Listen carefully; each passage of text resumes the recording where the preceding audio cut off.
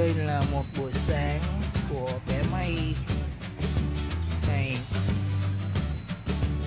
22 tháng 4 năm 2020 Bây giờ cô ấy đang được 21 tháng tuổi. Thấy cưng không nè?